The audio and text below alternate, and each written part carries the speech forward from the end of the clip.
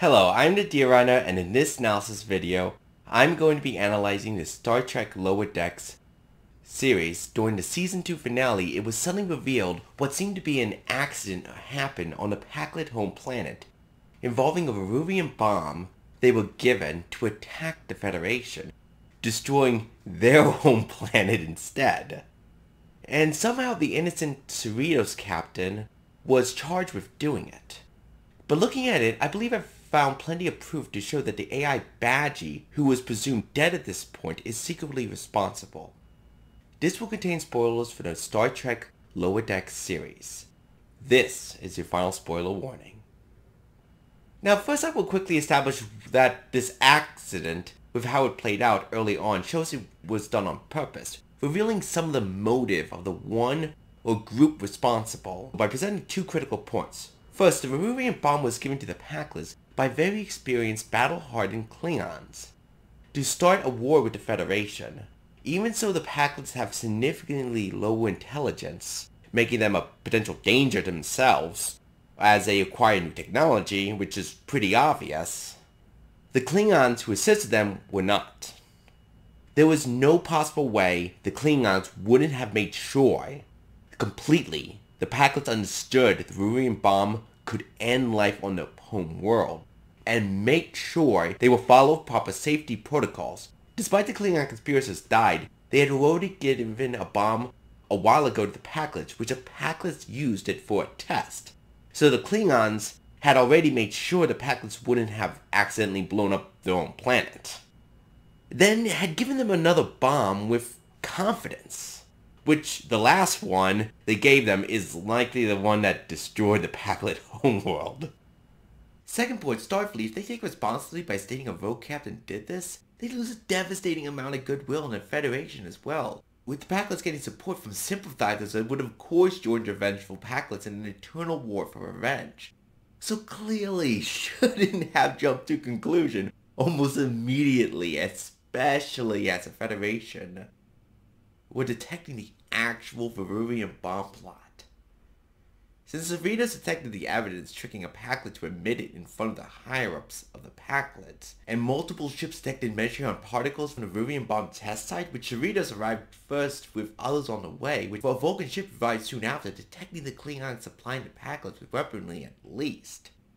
And there were Klingon mutineers taking over the Klingon ship, I wanted to tell the Klingon High Council the Varuvian bomb plot, though likely were defeated at some point off screen, as a concrete evidence was not available. There should be enough evidence to point away from the Cerritos. So the evidence to convict the Cerritos captain had to be overwhelming, despite all concrete evidence should have been destroyed when the bomb went off and the Federation was stating they are responsible couldn't really investigate as they would be banned from the crime scene. Plenty of reasons including Eternal War did not admit responsibility. Someone had to have orchestrated all in advance, taking advantage of Cerritos being around a lot for Starfleet to make such a move. So someone made the evidence to convict Cerritos of the Varuvian bomb destroying the Pakled planet, then set it off to create a war. Now, of course, there are more than one potential suspects like Romulans who likely wouldn't mind committing that act of genocide to start the war, but I will be aiming to show you that Badgey is by far the most likely suspect. I will now ask, does Badgey theoretically, after he was assumed dead in the show, have the ability and motive to do what this unidentified perpetrator has done? Badgey is a psychopathic, highly powerful AI created by the main character Rutherford. Badgey is incomplete, making it have a very dangerous, homicidal, psychopathic mental state while having the top of the line beyond any ethical limit abilities for computer AI. Now since it is established the Pakleds have very accepting software as they try to combine so many technologies from different societies, leaving a lot of software vulnerabilities, which Badgey before he disappeared showed he can within seconds activate the self-destruct system on one of the Pakled's major ships. Badgey, if he gets into systems, could do anything.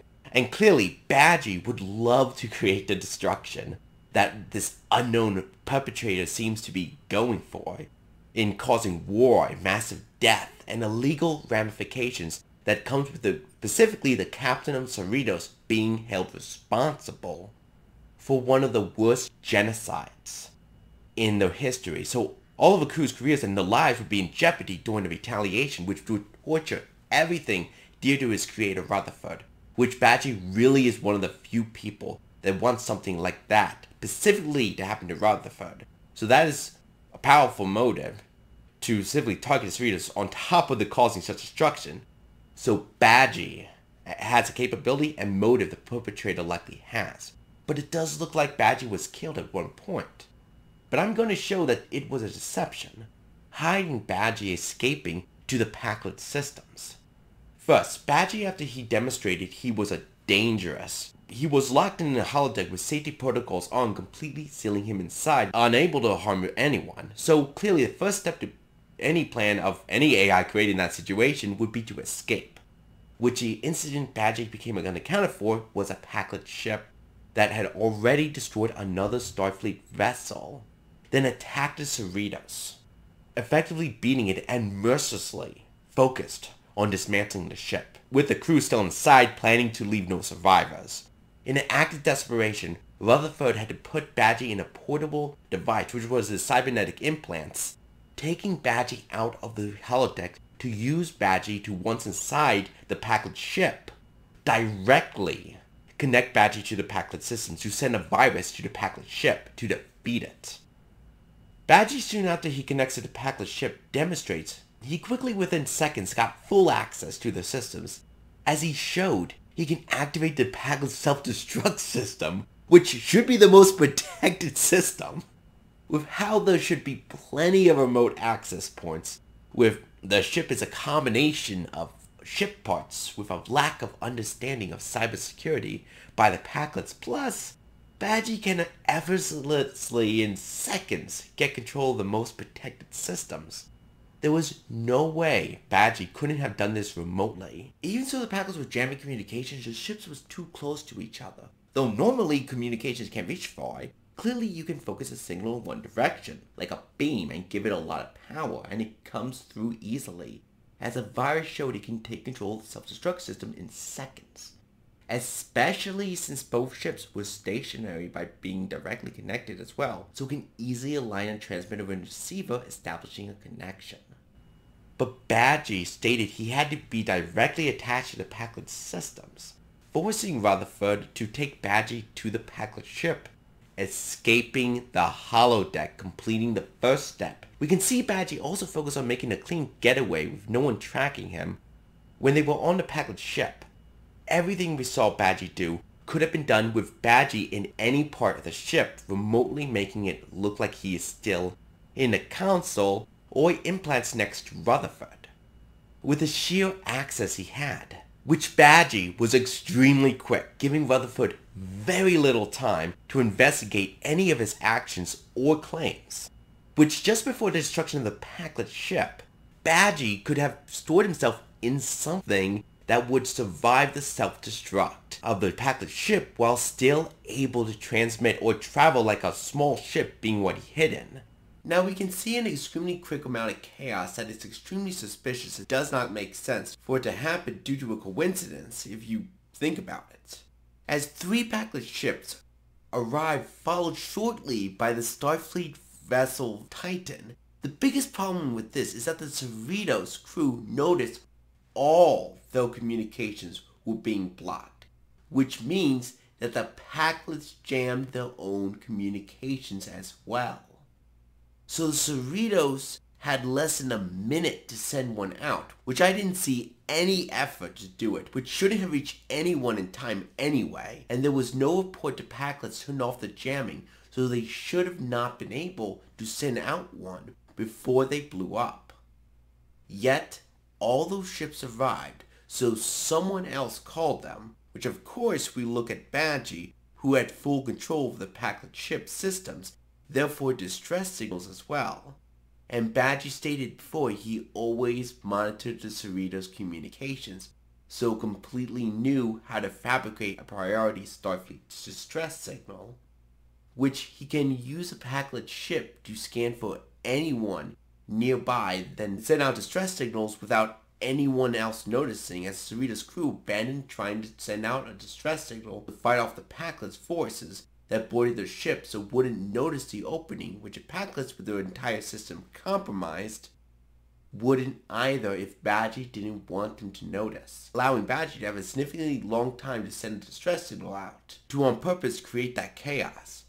So looking at what that caused, the Titan and the Cerritos would of course only focus on the Pakled ships, while the Pakleds once the Titan arrived turned their complete attention to the Titan, ignoring the debris field Badgey was in allowing himself to enter one of their ships undetected. And if Badgey did not send a distress signal to Titan, then the Pakleds who know they lost one of their ships would be carefully looking for anything that could indicate a counterattack. Therefore, Badgey wouldn't be able to approach and may have had limited options to store himself inside something that could survive, able to transfer Badgey to the Pakled ships, and remain in orbit reliably after such a huge explosion so likely won't have whatever he is in able to slip by the on-edge Pakled's defenses easily, so most likely needed a distraction. So clearly, this to make sense would mean this was the final step of Badgey's escape plan.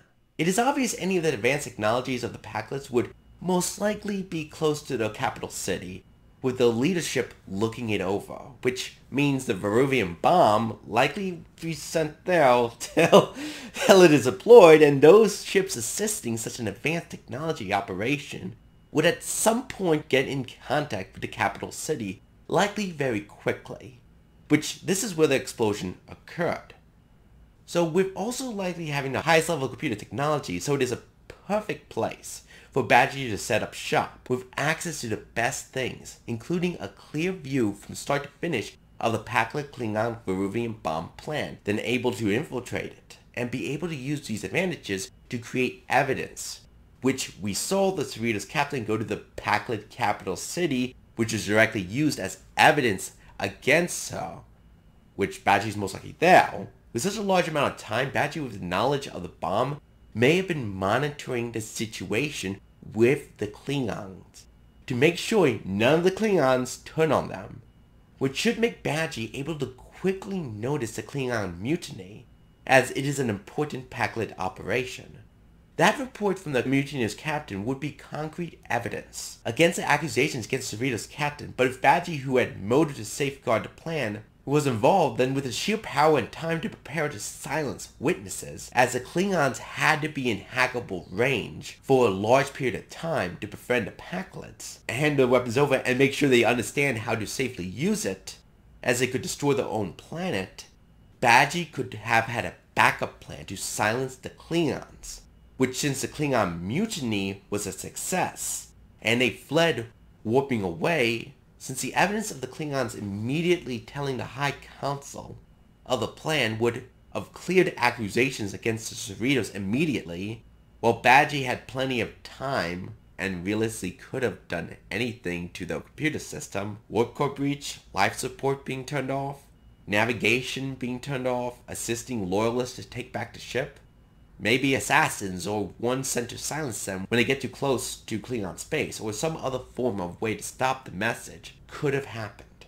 which something had to have happened to stop the Klingons mutineers. Also, it would be a perfect time to monitor the situation to gather evidence, to create false evidence, with Cerritos being so close to the detected Varuvian bomb test site. Next Badgey doing all this did destroy most of the information on him which would open his options up considerably, making sure no one would be looking for him when they look over the evidence, or at any stage of his plan. First, when Mariner stated they planned to create the virus, none of the bridge crew demonstrated they knew Badgey was there with the ability to do that. So Rutherford, despite the dangerous nature of Badgey, didn't report anything to them. So only Rutherford had the bulk of information to track Badgey and predict what he'd do, as it doesn't look like Rutherford had a partner working on Badgey. But most of the information and memories of Badgey was stored in his cybernetic implants, which if it is destroyed, so too is all that information about Badgey. With Rutherford also would get amnesia, so likely won't remember where to look for backup files on Badgey, which even so Badgey looked like he wasn't focused on it, everything he did I was actually just trying to destroy the cybernetic implants to destroy the information on himself. Badgey insisted he needed to go to the Pakled ship with him, which made no sense. Then Badgey, when downloading the virus, demonstrated he already had full access to the self-destruct system, while still downloading something else. So Rutherford could see Badgey was lying as the virus had already worked. So something else was being downloaded. And Badgey stated he only finished the download when Rutherford died, which his implants could be destroyed with Badgey inside, which means he already left them already. This is plenty of evidence Rutherford could have been spotting to know Badgey was up to something, which Badgey quickly activating the self-destruct. With a convincing act as well, which the shorter timer left Rutherford with little time to investigate. Which was interrupted by Shaxs ripping the implants out of Rutherford so he can be thrown on the escaped shuttle, and have Badgey finish his attack on a Pakled ship systems. Through the still connected to Pakled ship implants, though now we can see it likely wasn't required, which they had no idea at the time. Badgey seemed to be angry at this and could have stopped them by stating they are still required to stay, but didn't. And saw Rutherford getting to safety, but with survivors from that group would deliver the incorrect report, Badgey clearly being unstable tried to kill them but messed up letting them escape, so no further investigation needed, with Rutherford also getting amnesia from the removal of his implants erasing almost all the suspicious things Badger was doing as Rutherford was the only one monitoring it. So at this point, for a clean escape, they were more valuable to Badgey alive if Badgey just tried to destroy the Cerritos, not stopping the first Pakled ship when inside it. Rutherford would be right there fighting him, which it'd be realistic. Badgey would run a high chance of losing, so not a good choice to escape.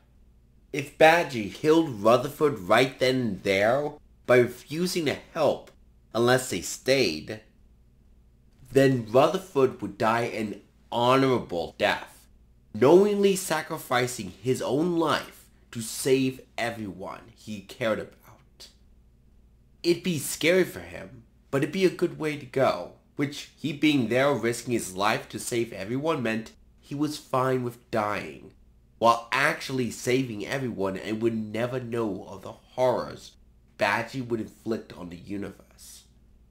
Which with Badgey instead allowed Rutherford to live, then made an effective plan to destroy everyone Rutherford loves by framing them for the worst genocide, destroying everything dear to Rutherford then, in such despair, can make Rutherford aware that his own reckless actions led to all this by creating Badgey.